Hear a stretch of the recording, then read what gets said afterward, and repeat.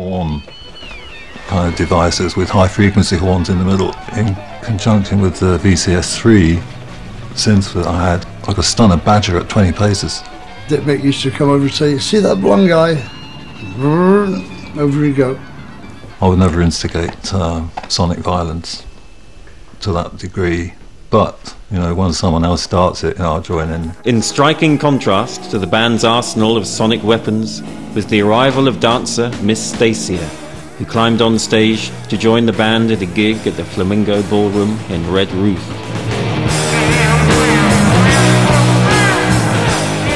Stacia was alright, she was a petrol pump attendant. We loaded up the petrol, filled up just before a gig. Del invited to the gig. She came, I think she probably danced that night, slept with Del, and three weeks later she was in the band. it was very easy to get in our band in those days.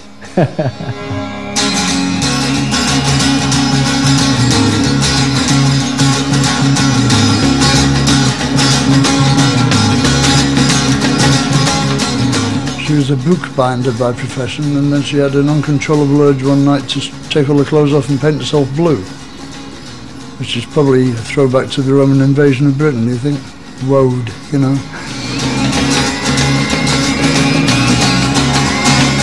And then she came on the road with us, you know.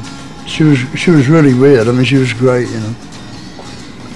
Blowing bubbles on stage and shit. She was great. I mean, she was an impressive woman. I mean, she was six foot two. A 52 inch bust, you know. I mean, she was a, an overwhelming sight for the youngsters in the crowd. And she used to pull them now and again and bring them back to the hotel, you know.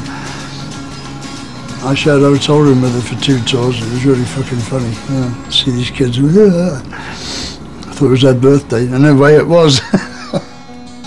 With the arrival of Stacia and Lemmy, alongside the likes of Robert Calvert, Barney Bubbles and the band's very own lighting crew, Liquid Len and the Lensmen.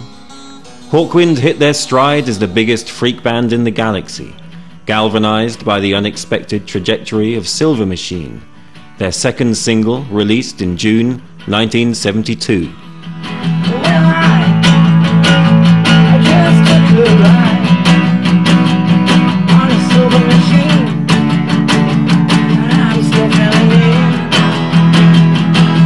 A silver machine is a push bike, a silver push bike with a silver bell, ding-a-ling-a-ling. And um, that's what Robert Calvert wrote the song about. He was on his push bike going through London, ringing his bell, and he just thought, I've got a silver machine. I knew when we were rehearsing it, a place uh, Andy Warhol had hired for a party, he got us to play at it. And I remember thinking then, oh, this could really make it, this could really crack it, you know. It just, for me, was the point where Silver Machine became the important track. I just realised something was going to happen off the back of that. I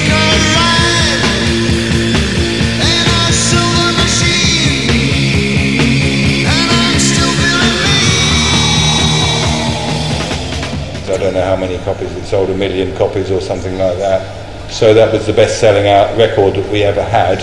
You know, it was available on a commercial level as well. It was in, you know, we were on top of the pops and suddenly, you know, Hawkwind was the flavour of the month really. So that was quite cool. Dave had the riff, and then Bob put the words to it. Um, and that's pretty much how you work with Dave. You didn't really get together like Lennon McCartney and, you know, and, and a couple of guitars. Dave was a very good writer, you know. They was all good songs. Silver Machine brought new pressures to a band that had never had to deal with the business side of music. Well, I mean, hit records always change the dynamic of a group because the guy who wrote the song is suddenly making a lot of more money than everybody else. And then also that there's the guy who sang the song is suddenly in the spotlight. Yeah, they didn't want me to sing it. They tried everybody else singing it except me because I was a new guy, you know. And then they had to ask me to try it because nobody else could do it. Nobody else could hit the high note. and I got it in two takes and it really pissed them off.